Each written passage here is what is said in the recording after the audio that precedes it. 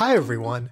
In this video, we're going to share 5 key things to think about for baby proofing your home. Whether you're planning far in advance, good for you, or just trying to keep up with your suddenly mobile young one, these insights and product suggestions are for you. You'll find helpful links to the products we mention and some additional suggestions that come to mind of products we personally use or find helpful. With that out of the way, let's get right into it before your kid wanders any further. Number 1. DIY or outsource. Your first decision is Are you going to buy everything yourself and DIY the install, or hire a professional? If money is no object and you're short on time, then sure, go ahead and hire a pro to take the burden off your shoulders. For most parents and caregivers, to be honest, this is something you can do yourself. Let's just say we are not going to win any Handyman of the Year awards, but we had no trouble ordering and installing everything ourselves, including learning to change power outlets. So, unless you're really strapped for time and have extra piles of funding, our suggestion is generally to go do the do it yourself route. Number two, power outlets and outlet covers. This one just sounds scary, and well, for great reason. Outlets can be dangerous, like really dangerous. Option 1 Buy a pack like this of cheap plastic things that you stick into outlets around the house. Pros inexpensive, easy to put in, do it and forget it. Cons not necessarily the greatest aesthetic, maybe, and these can end up in mouths. You can also replace outlet covers, so they have what look like little shields or doors hiding the outlets themselves. If you're a bit more ambitious, you can consider replacing the outlets. We bought a multi-pack like this of child-resistant outlets and replaced the most critical ones first, then cycled around to the rest of the house. If you're at all uncomfortable about doing this type of work, you should of course hire a professional. For surge protectors, or other outlets that you want protected, here are two more options that we have in our house. One fits over an individual outlet, kind of like a box, and the other is sort of like a shoe cover for a surge protector. Both have been fine for us and were very easy to put in.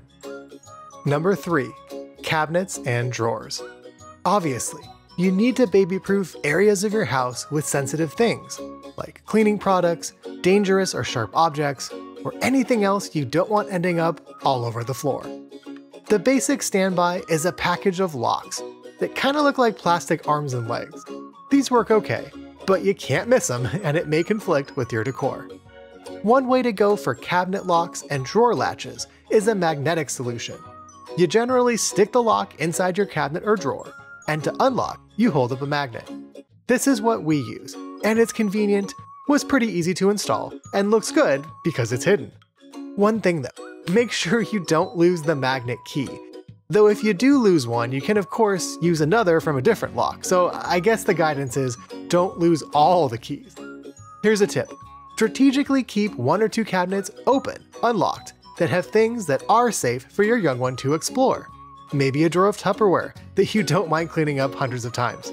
It's a good training opportunity to emphasize that some cabinets have dangerous things that are off limits, while others are perfectly okay for baby to open.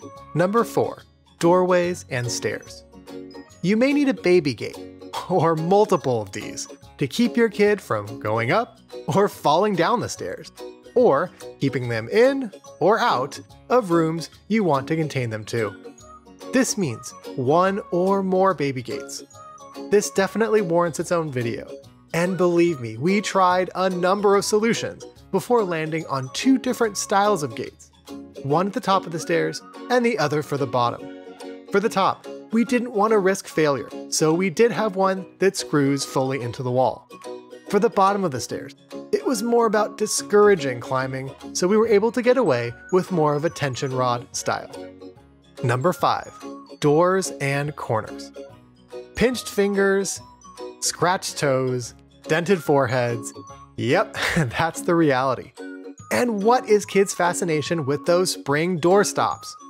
Here are a couple suggestions in this category we found useful. For doors, you can attack the problem with a door handle cover, or you can also use these pinch guards. We have these guards on a few places, like bathroom doors and other rooms our kids use from time to time. They take less than two seconds to put on and can really easily come right off. But for their own rooms, where they're going to be inside and using every single day, we like this solution, which is kind of like a protective strip that runs the length of the door crease and prevents it from closing on fingers. It's easy to install and offers good protection. Keep in mind though, it's an adhesive install, so not as simple to change out. To end the madness around doorstops, yes, they make rubber versions without springs. We have them placed throughout the house.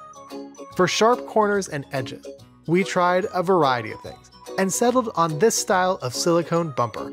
They're affordable and easy to put up. Keep in mind though, that some of ours have started to fall as the months and years have gone by, especially now that we're using them with our second. We also used this table guard for a round table and it worked out great. So, there you have it. Sure, there are probably many more things you could do to make your house even more baby and injury proof. And maybe you want to, and that's cool. But think about the need to balance basic safety with the discipline of teaching your kids what to touch, where to go, and not touch or go. It's a balance that you need to figure out because you don't want your house on lockdown any more than you already need to. Thanks so much for watching. I hope you found this useful, and don't forget to like and subscribe so you don't miss anything new. Here's to all you safety minded parents out there.